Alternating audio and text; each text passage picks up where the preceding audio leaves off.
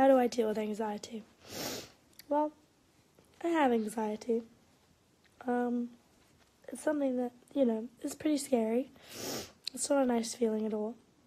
Um, because who wants anxiety? Who wants to feel kind of nervous all the time?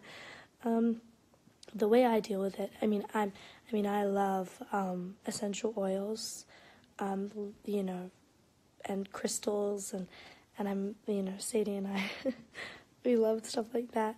So, um, why am I crying? I'm not sorry. I have a runny nose. um, yeah, no. Um, so I, you know, when I'm nervous, I kind of just put oils, you know, eucalyptus on my temples, and breathe.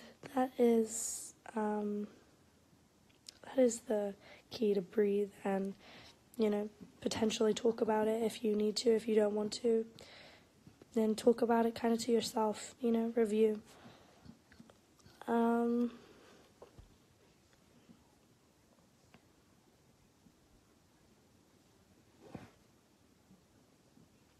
You long world.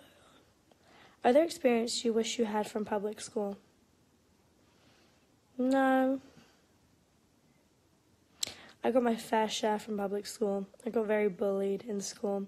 I had to actually leave school because I was bullied, and then I had to go to another school for it.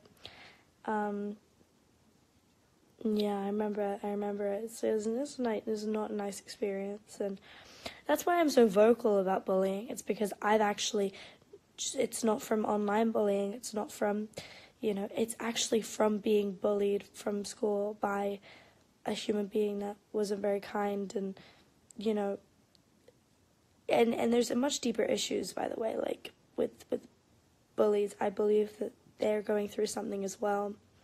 You know, there's no need to spread hate to your bully because you don't know what they're going through and the more you spread love to them, you could actually change them as human beings. You know, spread m- way more love than you do hate because hate is not a good thing on all levels. It's not a good thing. Um, spread as much love as you can give.